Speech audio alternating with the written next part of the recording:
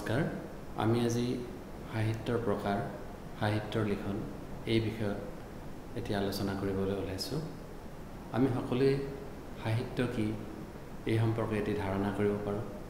সাহিত্যৰ কথা বুজিব পাৰোঁ সাহিত্যক জানো সাহিত্যক অনুভৱ কৰোঁ উপলব্ধি কৰোঁ। কিন্তু আজি আমি সাহিত্যৰ প্ৰকাৰ আৰু সাহিত্য লিখন সম্বন্ধে কিছু কথা আলোচনা কৰিবলৈ ওলাইছোঁ।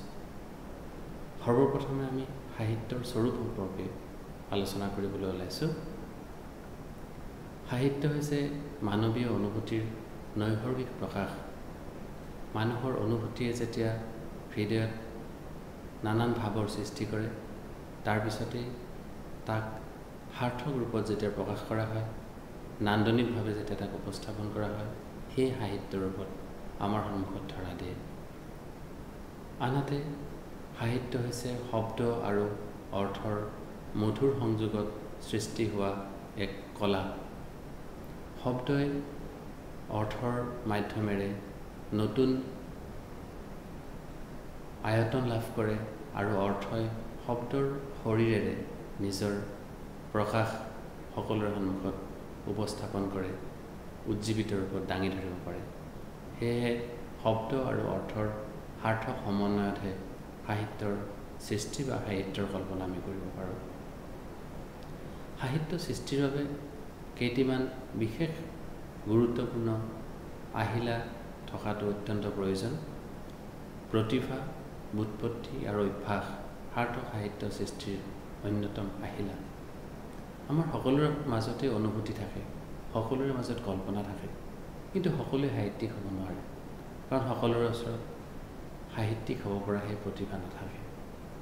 আকৌ কেতিয়াবা মানুহৰ ওচৰত প্ৰতিভা থাকে কিন্তু কোনো বিষয়ৰ ওপৰত যদি তেওঁৰ উৎপত্তি নাথাকে তেতিয়াও তেওঁ সফল সাহিত্যিক হ'ব নোৱাৰে। আনহাতে তেওঁৰ প্ৰতিভা আছে উৎপত্তি আছে কিন্তু তেওঁৰ যদি অভ্যাস নাথাকে তেওঁৰ যদি প্ৰকাশ কৰাৰ অভ্যাস নাথাকে লিখাৰ অভ্যাস নাথাকে কোনো কথাক কলাত্মক ৰূপত দাঙি ধৰাৰ যদি তেওঁৰ অভ্যাস নাথাকে তেতিয়াও তেওঁ সফল সাহিত্যিক হ'ব নোৱাৰে। গতিকে প্ৰতিভা উৎপত্তি আৰু অভ্যাস এই গোটেইকেইটা গুণ থাকিলেহে সাহিত্য সৃষ্টি সম্ভৱ হ'ব। আনহাতে সাহিত্যত ব্যক্তিগত আৰু সামাজিক অভিজ্ঞতাক শাখাৰ ৰূপ প্ৰদান কৰা হয়। মানুহৰ ব্যক্তিগত জীৱনৰ বিভিন্ন অভিজ্ঞতা থাকে। ব্যক্তিগত জীৱন সুখ দুখ হৰ্ষ বিষাদ প্ৰাপ্তি অপ্ৰাপ্তি ভাল লগা বেয়া লগা প্ৰেম শোক বিভিন্ন ধৰণৰ অনুভূতি আমাৰ ভৰ্তি কৰি জীৱনত থাকে। কোনোবাই সেইটো প্ৰকাশ কৰে কোনোবাই সেইটো নকৰে। আৰু ঠিক সেইদৰে আমাৰ ব্যক্তিগত জীৱনৰ উপৰিও এটা সামাজিক জীৱন থাকে। আমি সামাজিক জীৱ আৰু সেইকাৰণে সাহিত্যক কোৱা হয় সমাজৰ দৰ্পণ। এজন মানুহে ব্যক্তিগত জীৱনত বা তেওঁৰ ঘৰুৱা পৰিৱেশত কি ধৰণৰ জীৱন কটায় সেইটো এটা বেলেগ কথা। আৰু সামাজিক পৰিপ্ৰেক্ষিতত তেওঁ কেনে এক জীৱনশৈলীৰ মাজেৰে বা কেনে এক অৱদানৰ মাজেৰে নিজৰ উপস্থিতি বা নিজৰ কৰ্মোদ্যম প্ৰমাণিত কৰে। সেইটো এটা বেলেগ কথা। আৰু সেয়েহে সাহিত্যত ব্যক্তিগত জীৱনৰ সূক্ষ্ম সূক্ষ্ম খণ্ডচিত্ৰবিলাক যিদৰে প্ৰকাশিত হয় ঠিক সেইদৰে সামাজিক জীৱনৰ বৃহৎ বৃহৎ কথাবোৰ বৃহৎ বৃহৎ বিন্দুবিলাক বৃহৎ বৃহৎ বিষয়বস্তুবিলাকো সাহিত্যৰ মাজেৰে প্ৰকাশিত হয়। সাহিত্যৰ আৱশ্যকীয় উপাদান। সাহিত্য সৃষ্টিৰ বাবে আমাক কি কি উপাদান লাগে? বা কি কি কথা থাকিলেনো সাহিত্যৰ জন্ম হ'ব পাৰে?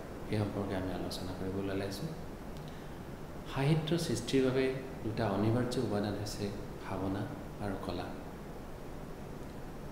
আমাৰ মাজত যেতিয়া কোনো এক ভাৱনা মনৰ মাজত জন্ম হয় সেই ভাৱনাক আমি যেতিয়া কলাত্মক ৰূপ দিওঁ তেতিয়া সেই সাহিত্যৰ ৰূপত আত্মপ্ৰকাশ কৰে।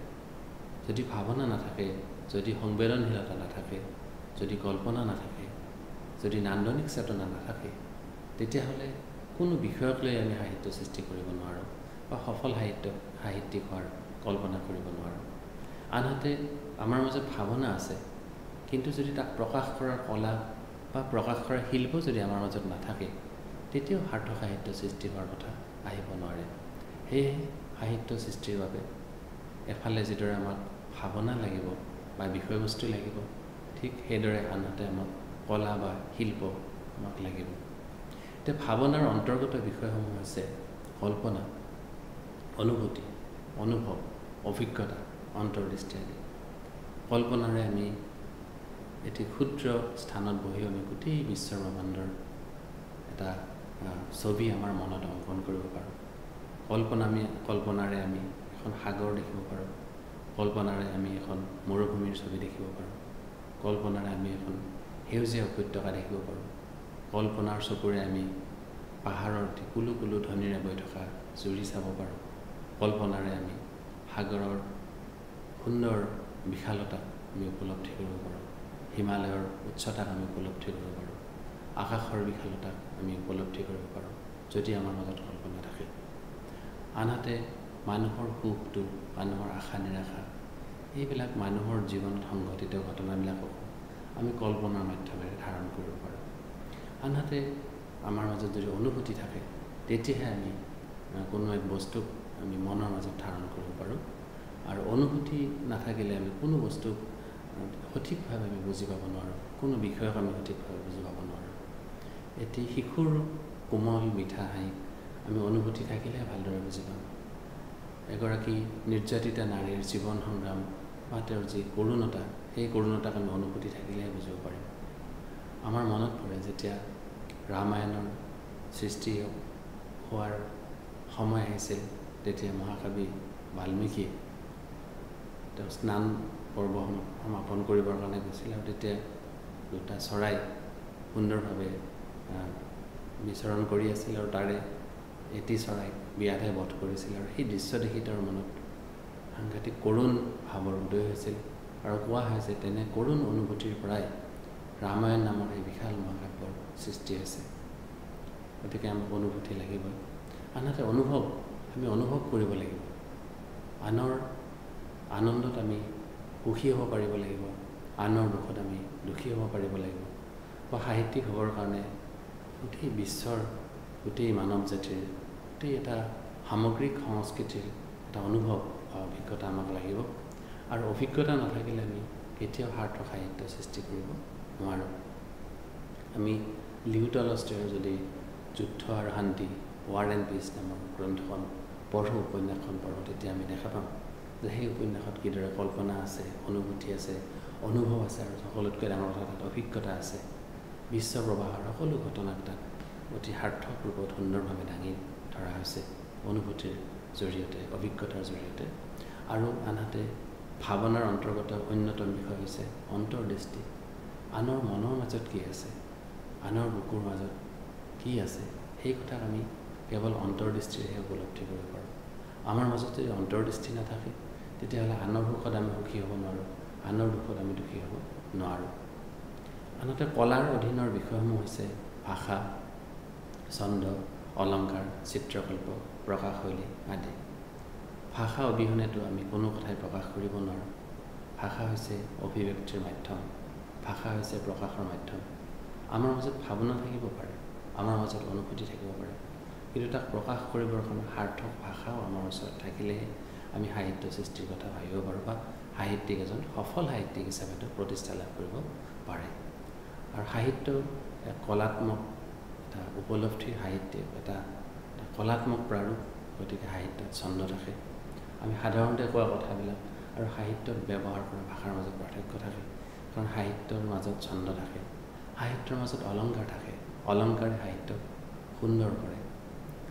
সংস্কৃত আচাৰ্যসকলে কৈছে যে এগৰাকী নাৰীৰ সৌন্দৰ্য যিমানেই নাথাকক অলংকাৰে তেওঁৰ সৌন্দৰ্যক পূৰ্ণতা প্ৰদান কৰে। অলংকাৰে আমাৰ কথাবিলাককো আকৰ্ষণীয় কৰি তোলে। এগৰাকী নাৰীৰ সৌন্দৰ্যক যদি আমি সাধাৰণভাৱে কওঁ যে তেওঁ বৰ ধুনীয়া। আৰু সেই কথাটোকে যদি আমি অলংকাৰ লগাই কওঁ যে তেওঁৰ সৌন্দৰ্য পূৰ্ণিমাৰ জোনাকৰ দৰে সুন্দৰ স্নিগ্ধ তেতিয়া শুনি আমাৰ বেছি ভাল লাগিব। কোনোবা এগৰাকী কুকিল কণ্ঠী গায়িকাৰ কথা যদি আমি কওঁ যে তেওঁৰ কণ্ঠটো বৰ সুন্দৰ আকৌ তেওঁক যদি আমি বেলেগকৈ কওঁ যে তেওঁ কুলিৰ দৰে সুৰীয়া তেওঁৰ কণ্ঠ শুনি আমাৰ বেছি ভাল লাগিব। কোনোবা এগৰাকী গাভৰুৰ হাঁহিক যদি আমি কেৱল এইটো এটা গাভৰুৰ হাঁহি সেই বুলি ক'লে আমাৰ যিমান ভাল লাগিব তাতকৈ যদি আমি সেই কথাটো এই গাভৰুৰ হাঁহিটো যেন পাহাৰীয়া জুলুকিয়ে খিলখিলাই শব্দ কৰা শব্দৰ নিচিনা উচ্ছল তৰংগৰ নিচিনা এনেকৈ যদি আমি কওঁ অলংকাৰ লগাই তেতিয়াহ'লে এই সৰু কথা এটা সুন্দৰ লগা হৈ উঠে। আৰু পৃথিৱীৰ সকলো সাহিত্যতে এইদৰে অলংকাৰৰ প্ৰয়োগ কৰা হৈছে। অলংকাৰ বিভিন্ন প্ৰকাৰৰ আছে শব্দালংকাৰ অৰ্থালংকাৰ তাকো আকৌ বিভিন্ন ভাগত ভাগ কৰা হৈছে অনুপ্ৰাস শ্লেষ শ্লেষ চমক উৎপ্ৰেক্ষা অতিশয়োক্তি মানৱীকৰণ কাৰ পৰশত ফুলিলি বান্ধ অ মোৰ দৰদি ফুলাম পাহি চামলি বাটৰ উৰণি গুচাই কাৰ ফালে চাই মাৰিলি আহি ইয়াত আকৌ মানৱীকৰণ অলংকাৰ আহিছে চিত্ৰকল্প শব্দৰ মাজেৰে ছবিৰ অনুভূতি মনলৈ যদি আনিব পাৰোঁ সেয়া হৈছে চিত্ৰকল্প আৰু সাহিত্যত চিত্ৰকল্প থাকে প্ৰকাশ শৈলী এয়া হৈছে কলাৰ অভিনয়ৰ অন্যতম বিষয় যে প্ৰত্যেক সাহিত্যিকৰে এটা নিজস্ব শৈলী থাকে। আমি অসমীয়া সাহিত্যিকসকলকো যদি চাওঁ তেতিয়াহ'লে আমি দেখা পাওঁ যে লক্ষ্মীনাথ বেজবৰুৱাৰ গল্প লিখাৰ যি শৈলী আৰু ভৱেন্দ্ৰনাথ শইকীয়া ডাঙৰীয়াৰ গল্প লিখাৰ যি শৈলী বা মামণি ৰচন গোস্বামীৰ গল্প লিখাৰ যি শৈলী প্ৰকাশ শৈলী প্ৰত্যেকৰে ভিন্ন ভিন্ন। সেই প্ৰকাশ শৈলীয়ে এজন সাহিত্যিকৰ পৰিচয় দাঙি ধৰে। আৰু প্ৰকাশ শৈলী আৰু সাহিত্যিক দুয়োজনে এজনৰ পৰিচয় হৈ পৰে। সাহিত্যৰ প্ৰকাৰ সাহিত্যক বিভিন্ন দৃষ্টিৰে চোৱা হৈছে। তথাপিও আমি সাহিত্যৰ প্ৰকাৰ বুলি ক'লে উদ্দেশ্যৰ দৃষ্টিৰে সাহিত্যক আমি দুই ভাগত ভাগ কৰিব পাৰোঁ। কল্পনাধৰ্মী আৰু বাস্তৱধৰ্মী। যিবিলাক সাহিত্যত কল্পনাৰ প্ৰয়োগৰ বেছি কাল্পনিকতা। বা মানুহৰ অনুভূতিৰ আৱেগৰ প্ৰয়োগৰ বেছি তাক আমি কল্পনাধৰ্মী সাহিত্যৰ শ্ৰেণীত ৰাখিব পাৰোঁ। আনহাতে যিবোৰ সাহিত্যত কল্পনাতকৈ বাস্তৱৰ প্ৰয়োগ বেছি হৈছে তাক আমি বাস্তৱধৰ্মী সাহিত্য বুলি ক'ব পাৰোঁ। সামগ্ৰিক দৃষ্টিৰে সাহিত্যৰ প্ৰকাৰ কবিতা নাটক উপন্যাস গল্প প্ৰবন্ধ আত্মজীৱনী ভ্ৰমণ কাহিনী আৰু বিবিধ বিষয়ক। কবিতা কি? আমি সকলোৱে জানো কবিতা কি। কবিতা হৈছে সাহিত্যৰ সকলোতকৈ প্ৰাচীন ৰূপ। কবিতাৰ জৰিয়তে প্ৰথমে সাহিত্য সৃষ্টি কৰা হৈছিল। আমাৰ যিবিলাক অতি প্ৰাচীন কালৰ মহান সাহিত্য সকলোবিলাক মূলতঃ কবিতাৰ ৰূপতে সৃষ্টি হৈছিল। প্ৰাচীন সংস্কৃত সাহিত্য কাব্য শব্দৰ দ্বাৰা সম্পূৰ্ণ সাহিত্যক বুজোৱা হৈছিল। বাক্যম ৰচাত্মকম কাব্য সংস্কৃতত কোৱা হৈছে। তাৰ দ্বাৰা কাব্য বুলি যদিও কোৱা হৈছে তাৰ দ্বাৰা কিন্তু সমস্ত সাহিত্যকে বুজোৱা হৈছে। আচাৰ্যসকলৰ মতে ৰসযুক্ত বাক্য কাব্য। আচাৰ্য বিশ্বনাথে কৈছে যে ৰস থকা বা ৰসযুক্ত বাক্যই হৈছে কাব্য। যিবোৰ বাক্যত ৰস থাকে যিবোৰ বাক্যত লালিত্য থাকে সেইবিলাকে হৈছে সাহিত্য বা কাব্য। আকৌ কোনো কোনো আচাৰ্যই কৈছে যে শব্দ আৰু অৰ্থৰ হিতকৰ মিলনে হৈছে সাহিত্য। সাহিত্য হ'বৰ কাৰণে শব্দ আৰু অৰ্থৰ সুন্দৰ সংমিশ্ৰণ হ'ব লাগিব। কেৱল শব্দৰ সাহিত্য হ'ব নোৱাৰে কেৱল অৰ্থৰ সাহিত্য হ'ব নোৱাৰে। শব্দ আৰু অৰ্থৰ সুন্দৰ মিশ্ৰণতে সাহিত্য বা কবিতাৰ জন্ম হ'ব পাৰে। এতিয়া কবিতাৰ বৈশিষ্ট্য নবী। কবিতাৰ বৈশিষ্ট্য হৈছে শব্দ বৈচিত্ৰ অতি চমৎকাৰ ৰূপত কবিতাত প্ৰয়োগ কৰা হৈছে। আমি সাধাৰণতে কোৱা কথাৰে সাহিত্য নহয় কিন্তু কবিয়ে কোৱা কথাৰে সাহিত্যৰ সৃষ্টি হয়। কিয়? কবিতাৰ মাজত শব্দ বৈচিত্ৰ থাকে। যেনে তুমিতো জানাই এই কবিৰ আনে বনাই এটাই মাথো কামিজ তাৰো চিগু চিগু চিলাই। প্ৰেম নিশ্চয় এনেকুৱাই আৱৰণ খুলি হৃদয় জোৰাই। এইটো এটা কবিতাৰ অংশ আৰু ইয়াত শব্দ বিচিত্ৰ ৰূপত প্ৰয়োগ কৰা হৈছে। আনহাতে কবিতাৰ অন্যতম বৈশিষ্ট্য সংকেত ধৰ্মিতা। সংকেতেৰে কিছুমান কথা কোৱা হৈছে। কবিসকলে বিশেষকৈ বা গল্পকাৰসকলে উপন্যাসিকসকলে সংকেতৰ মাধ্যমত বিভিন্ন কথা কৈছে। দেৱকান্ত বৰুৱাই সাগৰ দেখিছা কবিতা কেনেকৈ সংকেত আমাৰ প্ৰতি দাঙি ধৰিছে। সাগৰ দেখিছা। দেখা নাই কেতিয়াও। ময়ো দেখা নাই। শুনিছোঁ তথাপি বাধাহীন উৰ্মিৰ মালা আছে দূৰ দিগন্ত ব্যাপী। তাৰপিছত তেওঁ কি কৈছে? মোৰ এই অন্তৰখনি সাগৰৰ দৰে নীলা বেদনাৰে দেখা নাই তুমি।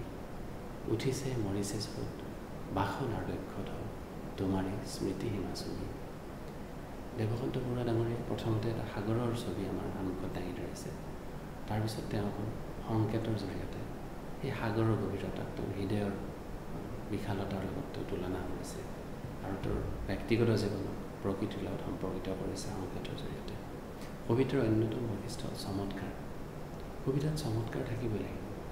নহ'লে খুব কেইটামান শাৰীৰ ভিতৰত লিখা এটি কবিতাই কেতিয়াও যুগান্তকাৰী কবিতাৰ জন্ম দিব নোৱাৰে জন্ম হ'ব নোৱাৰে।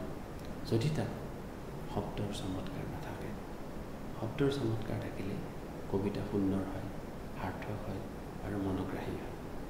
কবিতাত থাকিব কল্পনাশীলতা কবিসকল খুব কল্পনাপ্ৰবণ তেওঁলোকে বাস্তৱত ঢুকি নোপোৱা বাস্তৱত ওচৰৰ পৰা দেখা নোপোৱা কথাবিলাকক কল্পনাৰ মাধ্যমেৰে চুই চাব পাৰে প্ৰকাশ কৰিব পাৰে। সেয়েহে কবিতাত কল্পনাশীলতা থকাটো অধিক প্ৰয়োজন। কবিতাত থাকিব আলংকাৰিকতা কবিতাত অলংকাৰ থাকিবই লাগিব। আনহাতে লয় আৰু ছন্দও থাকিব। আলংকাৰিকতা সম্পৰ্কে আমি ইতিমধ্যে কথা পাতিছোঁ। অলংকাৰ বিভিন্ন প্ৰকাৰৰ থাকে যেনে নৱকান্ত বৰাই এতিয়া কবিতাত লিখিছে মোকতো পোৱাই চিনি মই যে ফাগুন। এই কবিতাটোত তেওঁ মানৱীকৰণ অলংকাৰ ব্যৱহাৰ কৰিছে।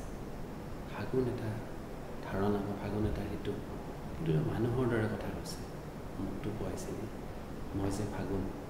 এই মই যে ফাগুন বুলি যে কৈছে তাত মানৱীকৰণ অলংকাৰ ব্যৱহাৰ হৈছে।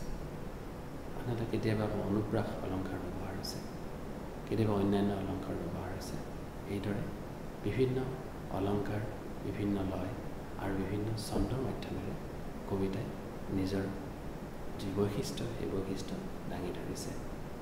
ইয়াৰ পিছতে নাটকৰ কথা আমি পাতিবলৈ ওলাইছোঁ। নাটকক দৃশ্যকাব্য বুলিও কোৱা হয়। আৰু অভিনয় হৈছে নাটকৰ প্ৰাণ। বহু আলোচকে কৈছে যে ছেক্সপিয়াৰৰ নাটকসমূহত যদি অভিনয় নাথাকিলহেঁতেন তেতিয়া সেই নাটকবিলাকে প্ৰাণ পাই নুঠিলহেঁতেন। অভিনয়ৰ জৰিয়তেহে ছেক্সপিয়াৰৰ নাটকবিলাকে তেওঁৰ মৃত্যুৰ পিছত নতুনকৈ জন্ম লাভ কৰিছে। ঠিক সেইদৰে শ্ৰীমন্ত শংকৰদেৱে ৰচনা কৰা যিসকল অংকীয়া নাট বা মাধৱদেৱৰ ৰচিত যিসকল যিবিলাক নাটক একাংকী নাটক সেইবিলাকক অভিনয়ৰ জৰিয়তে সাধাৰণ মানুহৰ ওচৰলৈ চপাই নিয়া হৈছে।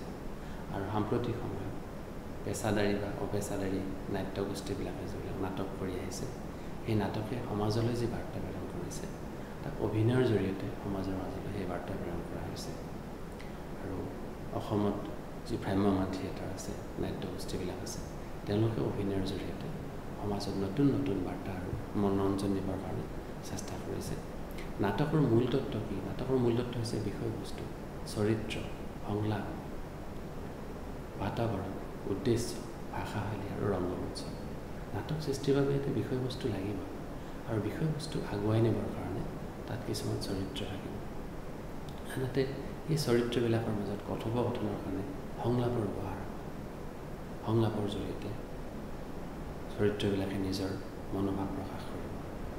তাত থাকিব এক বাতাবৰণ সেই সময়ত। আৰু থাকিব এটা উদ্দেশ্য নাটককাৰৰ উদ্দেশ্য থাকিব। ভাষাশৈলী এটা বিশিষ্ট ভাষাৰে তেওঁ লিখিব আৰু তাত থাকিব ৰংগমঞ্চ। ৰংগমঞ্চৰ জৰিয়তে নাটকৰ কল্পনা কৰিব পাৰি। নাটকৰ বিভিন্ন ৰূপ আছে বিবিধ ৰূপ। পাশ্চাত্য নাটক পূৰ্ণাংগ নাটক একাংকী নাটক ভাওনা থিয়েটাৰ শ্ৰব্য নাটক আধুনিক নাটক আদি। সাম্প্ৰতিক সময়ত নাটকটোৱে যথেষ্ট জনপ্ৰিয়তা লাভ কৰিছে। আৰু শ্ৰব্য নাটকসমূহে অনাদৰৰ যোগেৰে মানুহে শুনে ভাল পায় বিভিন্ন কথা শিকে আৰু নাটকৰ ৰস উপভোগ কৰে। দৃশ্য জৰিয়তে নাটক উপভোগ কৰা হয়। বেছিভাগ নাটকেই হৈছে দৃশ্য জৰিয়তে উপভোগ কৰা নাটক। আৰু মানুহে নাটক দেখি পঢ়ি যি কথা উপলব্ধি নকৰে নাটক চাই বা নাটকৰ যি জীৱন্ত ৰূপ সেই জীৱন্ত ৰূপৰ দ্বাৰা সেইবিলাক উপলব্ধি কৰিব পাৰে। আমি উপন্যাস আৰু গল্প সম্পৰ্কে আলোচনা কৰিবলৈ ওলাইছোঁ। উপন্যাস আৰু গল্প সাহিত্যৰ বিশিষ্ট ৰূপ আৰু সাম্প্ৰতিক সময়ত উপন্যাস আৰু গল্প। যথেষ্ট প্ৰাসংগিক আৰু জনপ্ৰিয়। উপন্যাস আৰু গল্প দুয়োটাই হৈছে গদ্য আধাৰিত সাহিত্যৰ। দুয়োটাৰ মাজতে গদ্য আছে। আৰু এই সাহিত্যৰবোৰ মাজেৰে উপন্যাস আৰু গল্পই আত্মপ্ৰকাশ লাভ কৰিছে। উপন্যাসত জীৱনৰ সামগ্ৰিক ৰূপৰ প্ৰতিফলন হৈছে আনহাতে গল্পত আকৌ জীৱনৰ খণ্ড চিত্ৰ বা এটা খণ্ড ৰূপৰহে প্ৰকাশ দেখা গৈছে। উপন্যাসসমূহ যদি আমি পঢ়োঁ বৃহৎ বৃহৎ উপন্যাসসমূহ যেনে যুদ্ধ আৰু শান্তি বৃহৎ উপন্যাস।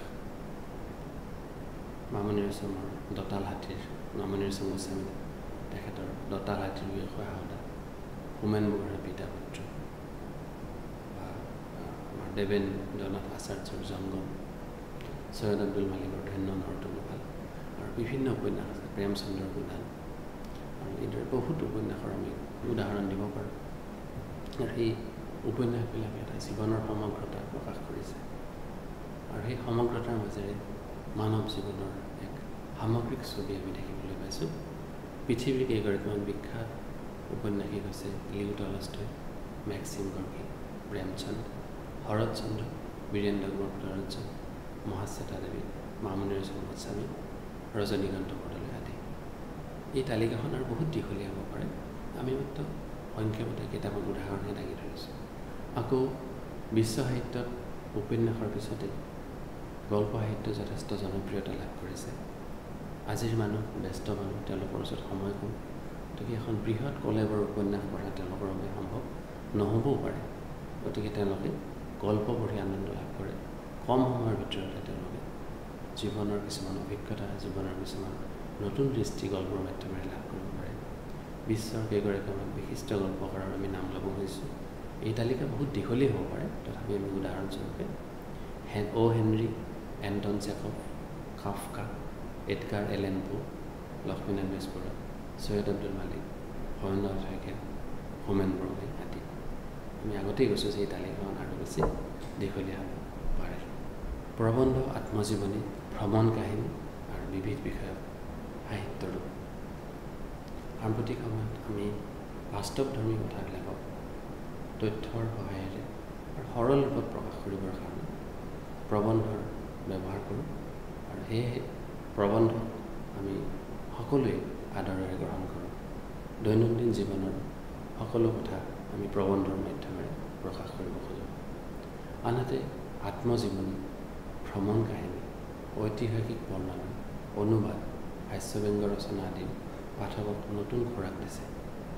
মোৰ জীৱন সোঁৱৰণ জীৱন নৃত্য আত্মনুসন্ধান আদি এনেকুৱা আত্মজীৱনীমূলক গ্ৰন্থ। ভ্ৰমণ কাহিনী যেনে চৈয়দ আব্দুল মালিকৰ মাজত মাথো হিমালয় হেম বৰুৱা ডাঙৰীয়াৰ ৰঙা কৰবীৰ ফুল এই ধৰণৰ আৰু বিভিন্ন ধৰণৰ ভ্ৰমণ কাহিনী আছে। ঐতিহাসিক বৰ্ণনা কিছুমান আছে অনুবাদ সাম্প্ৰতিক কালৰ নতুন সাহিত্য অনুবাদ সাহিত্য মানুহে ভাল পায়। বিশ্বৰ মহান সাহিত্যিকসকলৰ অনুবাদ আমি পঢ়ি ভাল পাওঁ। যে যেনে আমি মেক্সিম গৰ্গীৰ উপন্যাস লিউ টলষ্টৰ উপন্যাস বা এনেকৈ চৈয়দ আমি আব্দুল কালামৰ বিভিন্ন গ্ৰন্থৰ অনুবাদ আমি পঢ়িছোঁ। আমি খুব আনন্দ পাওঁ। অনুবাদ পঢ়ি। আৰু হাস্যব্যংগ ৰচনাই মানুহক হাঁহিৰ খোৰাক দিছে। আৰু প্ৰবন্ধ সাহিত্যই দিনক দিনে অধিক বিস্তৃতি আৰু জনপ্ৰিয়তা লাভ কৰিছে। সাহিত্য লিখন সম্পৰ্কে আমি কথা পাতিবলৈ ওলাইছোঁ। সাহিত্য লিখন কি? আৰু সাহিত্য লিখনৰ বাবে আৱশ্যকীয় তত্ত্ব? সাহিত্য কেনেকৈ লিখিব পাৰি? বা সাহিত্য লিখিবৰ কাৰণে আমাৰ ওচৰত কি কি গুণ থাকিব লাগে বা কি কি কথা থাকিব লাগে? এই সম্পৰ্কে আমি কথা পাতিবলৈ ওলাইছোঁ। সাহিত্য সৃষ্টিৰ বাবে সাহিত্য লিখনৰ বাবে প্ৰথম আৱশ্যকীয় কথাটো হ'ল অনুভূতিৰ সৈতে লেখাকৰ একাত্মতা। আনৰ দুখ দেখি দুখী হ'ব পৰা আনৰ সুখ দেখি সুখী হ'ব পৰা। এই যে আনৰ অনুভূতিক নিজৰ বুলি ভাবিব পৰা ধাৰণ কৰিব পৰা একাত্মতা আছে সেইটো আমাৰ মাজত থাকিব লাগিব। তাৰপিছত থাকিব লাগিব সংবেদনশীলতা। আমাৰ মাজত সংবেদনশীলতা থাকিব লাগিব। আনৰ সুখ দুখক উপলব্ধি কৰিব পৰা যি গুণ তাকে সংবেদনশীলতা বুলি কয়। লাগিব আমাক তীক্ষ্ণ স্মৃতি। স্মৃতি নহ'লে আমি সকলো কথা মনত ৰাখিব নোৱাৰোঁ। আৰু মনত ৰাখিব নোৱাৰিলে আমি সাহিত্য সৃষ্টিৰ কথা ভাবিব নোৱাৰোঁ। গতিকে আমাক স্মৃতি লাগিব। আৰু থাকিব লাগিব প্ৰকাশৰ তাৰণা প্ৰকাশ কৰাৰ ইচ্ছা থাকিব লাগিব। আমি সেই প্ৰকাশৰ তাৰণা নাথাকিলে কেতিয়াও সাহিত্য সৃষ্টি কৰিব নোৱাৰোঁ। আমি সকলোৱে উপলব্ধি কৰোঁ। সকলোৰে মাজতে অনুভূতি আছে সকলোৰে মাজতে কল্পনা আছে। কিন্তু প্ৰকাশৰ সেই তাৰণাটো সেই যে প্ৰকাশৰ এটা দুৰন্তৰ ইচ্ছা সেই ইচ্ছাটো কিন্তু থাকিব লাগিব। তাৰপিছত হ'ব লাগিব বিষয়বস্তুৰ নিৰ্বাচন। আমি সকলো বিষয়ক লৈতো সাহিত্য সৃষ্টি নকৰোঁ। আমি এটা সাৰ্থক সাহিত্যৰ মানে এটা বিষয়বস্তু আমি নিৰ্বাচন কৰি লওঁ। আৰু বিষয়বস্তুৰ নিৰ্বাচনৰ জৰিয়তে আমি সাহিত্য সৃষ্টি কৰিব পাৰোঁ। ইয়াৰ পিছত আহিব লেখকৰ নিজা দৃষ্টি। প্ৰত্যেকজন মানুহৰ এটা নিজস্ব দৃষ্টি থাকে আৰু লেখকেও এটা সৰু ঘটনাকো নিজস্ব দৃষ্টিৰে অতি মাৰ্মিক ৰূপত অতি সাৰ্থক ৰূপত আমাৰ মাজত আমাৰ সন্মুখত দাঙি ধৰিব পাৰে। আৰু লাগিব ভাৱ আৰু ভাষাৰ সমন্বয়। ভাৱ থাকিলে সাহিত্য সৃষ্টি হ'ব নোৱাৰে যদি তাক সাৰ্থক ভাষাৰ নাথাকে সাৰ্থক ভাষাৰ যদি ব্যৱহাৰ নহয় তেতিয়াহ'লে ভাৱ থাকিলেও ভাষাৰ সৃষ্টি হ'ব নোৱাৰে। এতিয়া আমি অন্তিম কথাটোলৈ আহিছোঁ যে সাহিত্য লিখন কেনেকৈ সম্ভৱ হ'ব পাৰে? বা সাহিত্য লিখন প্ৰক্ৰিয়াক আমি কেনেকৈ আগবঢ়াই নিব পাৰোঁ? সাহিত্য লিখাৰ বাবে আমি সঠিকভাৱে পৰিকল্পনা কৰিব লাগিব যে আমি এই বিষয়বস্তুটো কেনেকৈ আগুৱাম? ক'ত ঘটনাটোক কি ৰূপত আগুৱাই লৈ যাম? বা এটা কবিতা লিখিলে কিমান দীঘল কৰিম? কবিতাত কি কি শব্দ লগাম? এই গোটেইবিলাক এটা পৰিকল্পনা কৰি ল'ব লাগিব। লেখকৰ দৃষ্টি সাৰ্বজনীন আৰু অন্তঃস্পৰ্শী হ'ব লাগিব। লেখকে সামগ্ৰিক দৃষ্টিৰে এটা বহল দৃষ্টিৰে উদাৰ দৃষ্টিৰে সকলো কথাক চাব লাগিব। আৰু তেওঁৰ দৃষ্টিভংগীটো হ'লে অন্তৰস্পৰ্শী মানুহৰ হৃদয় চুই যাব পাৰিব লাগিব। ইয়াৰ পিছত লাগিব শক্তিশালী উপস্থাপন। উপস্থাপনটো আমাৰ শক্তিশালী হ'ব লাগিব। তেতিয়াহে আমি সাহিত্যই সাৰ্থকতা লাভ কৰিব। সৰু সৰু ঘটনাক মননশীল ৰূপত দাঙি ধৰিব লাগিব। সৰু সৰু ঘটনাই আমাৰ কাৰণে সৰু হ'ব পাৰে। সাহিত্যিকজনৰ কাৰণে সেই ঘটনাটো এটা ডাঙৰ ঘটনা হ'ব পাৰে আৰু তেওঁৰ কাৰণে এটা নতুন সাহিত্যৰ খোৰাক হ'ব পাৰে। গতিকে এটা মননশীল ৰূপত মন চুই যোৱাৰ ৰূপত প্ৰকাশ কৰিব পাৰিব লাগিব। মনোবৈজ্ঞানিক আৰু অন্তৰ্দৃষ্টিৰ প্ৰয়োগ আনৰ মনক বুজাৰ যিটো বিজ্ঞান আনৰ মনক বুজাৰ যিটো দৃষ্টি সেই দৃষ্টি বা বিজ্ঞান যদি নাথাকে তেতিয়াহ'লে সাহিত্যৰ সৃষ্টি হ'ব নোৱাৰে। বাস্তৱ আৰু কল্পনাৰ প্ৰয়োগ। সাহিত্য কেৱল কল্পনাৰ বা কেৱল বাস্তৱ নহয় কিন্তু বাস্তৱ আৰু কল্পনা এটা মধুৰ সংমিশ্ৰণ। বাস্তৱ জীৱনত লাভ কৰা অভিজ্ঞতাক আমি কল্পনাৰ মাধ্যমেৰে অতি সূক্ষ্মভাৱে অতি কলাত্মকভাৱে অতি নান্দনিকভাৱে আমি প্ৰকাশ কৰোঁ। আৰু শেষত আমি ক'ব পাৰোঁ যে সাহিত্য সৃষ্টিৰ বাবে অন্যতম আহিলা হৈছে বা সাহিত্য লিখনৰ বাবে অন্যতম কথা হৈছে সৃজনশীলতা। সাহিত্যিকৰ মাজত যেতিয়ালৈকে সৃজনশীলতা থাকিব তেতিয়ালৈকে সাহিত্যৰ জন্ম হৈ থাকিব নতুন নতুন সৃষ্টি সম্ভৱ হ'ব। কিন্তু সৃজনশীলতা নাথাকিলে সাহিত্যৰ সৃষ্টি হ'ব নোৱাৰে। গতিকে সৃজনশীলতাৰ মাধ্যমেৰে সাহিত্যত আমি নতুন এটা মাত্ৰা দিব পাৰোঁ আৰু সাহিত্যই নতুন ব্যাপ্তি নতুন আকাৰ নতুন আয়তন আৰু নতুন জনপ্ৰিয়তা বা প্ৰভাৱ লাভ কৰিব পাৰে। আৰু এইদৰে সাহিত্য লিখন সম্ভৱ হয়। ধন্যবাদ।